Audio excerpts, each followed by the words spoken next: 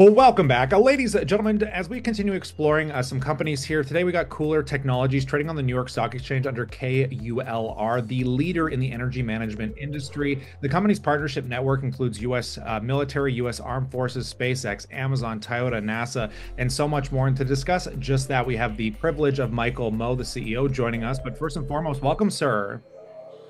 Yes, thank you for having us. Yeah, such a pleasure to get you on right from the New York Stock Exchange itself. And I want to dive into this for newer audiences. Maybe start by giving us an overview of what KULR's doing and kind of your core mission.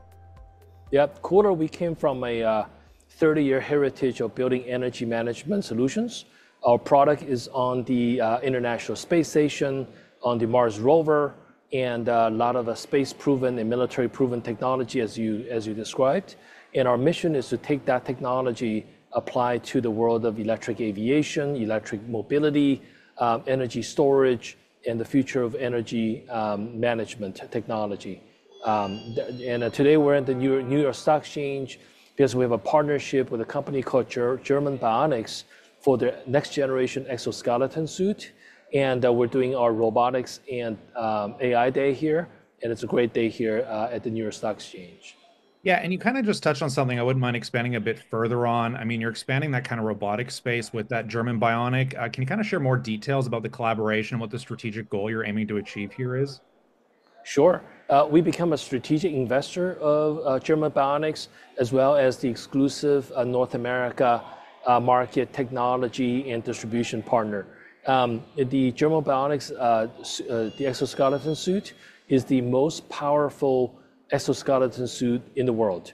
Uh, that's not my description, it's described by its customers. Um, and the customers include um, uh, uh, in the industry of transportation, warehouse, manufacturing, and also healthcare in hospitals like nurses. So we're very excited to bring that technology here to the United States because it's a huge market for manufacturing workers, construction workers, warehouse, and also uh, healthcare workers.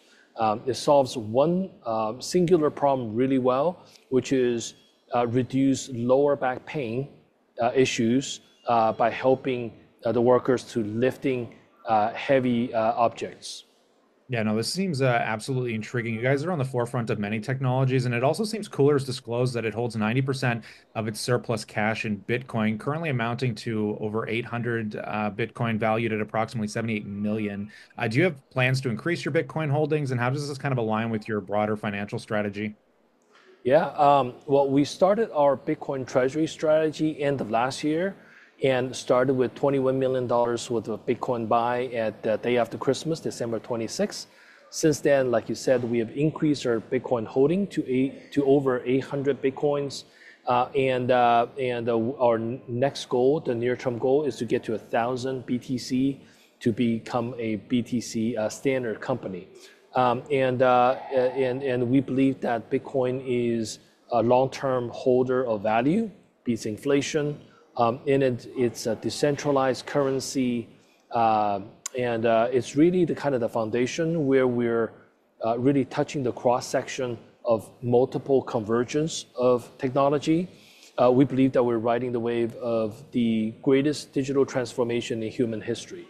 The digital transformation of intelligence, that's AI, which is AI robotics, and the digital transformation of capital and energy, that's Bitcoin. So super excited about how KULR will participate and grow in this uh, cross-section of these digital transformation megatrends. Yeah, absolutely. There seems to be a lot going on here. Uh, what's your overall kind of long-term vision and your strategic roadmap for KULR that investors should be focusing on? Sure. I think that the the fundamental uh, capital structure of KULR will be built on a Bitcoin treasury strategy.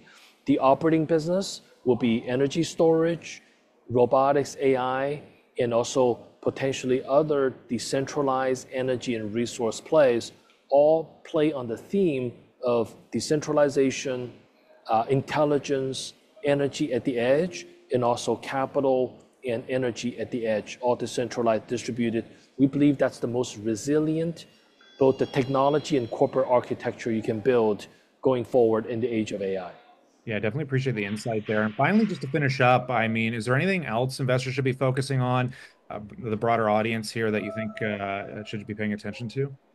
Sure. Uh, I, you know, this seems like there's a lot of uh, fronts that we're fight, uh, we're participating. Uh, for 2025, we're very focused on doubling our revenue for our operating business, grow our BTC treasury strategy to over 1,000, um, uh, you know, Bitcoin, and then we just got uh, uh, uh included into the Russell 2000, uh, Russell 3000 for 2025. So super excited about that, and then that allows us to grow our institutional shareholder base. So we expect a lot of growth ahead for KULR in 2025. Well, on that note, we'll pass it off to the viewers as always. We'd love to know what you think, but consider subscribing as news catalysts come down the wire. We're going to bring it to you here. But on that, we look forward to catching you in the next one.